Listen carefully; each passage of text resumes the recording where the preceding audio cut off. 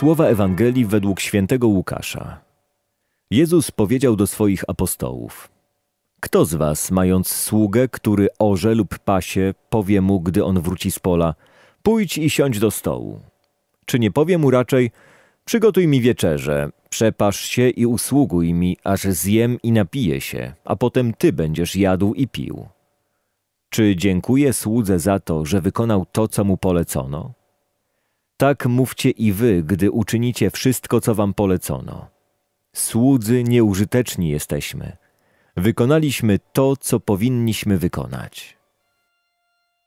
Relację Pan-sługa Jezus w dzisiejszej dobrej nowinie przekłada na relację Bóg-człowiek. Być może zbyt często zapominamy, że Bóg jest naszym Panem. Oczywiście wiemy to, nawet modlimy się często nazywając Boga naszym Panem, ale czy za słowami idą nasze czyny?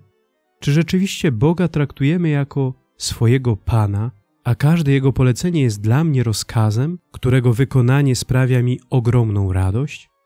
Wewnętrzna radość i pokój ducha są znakami, że kochamy naszego Pana. Jeśli w Bogu widzimy przeciwnika i ciemiężyciela, to nasze serce napełnia się lękiem i złością, a czasami nawet nienawiścią. To były uczucia, które pojawiły się w sercu Lucyfera. Właśnie dlatego sprzeciwił się Bogu i opuścił służbę Niego.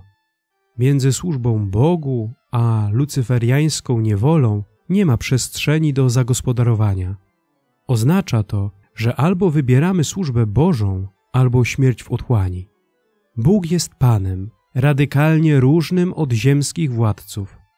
Nie jest On tyranem, który gnębi swoich poddanych, ale jest prawdziwym Ojcem dla swojego ludu. Z troską pochyla się nad każdym ze swoich dzieci, nad każdym z nas.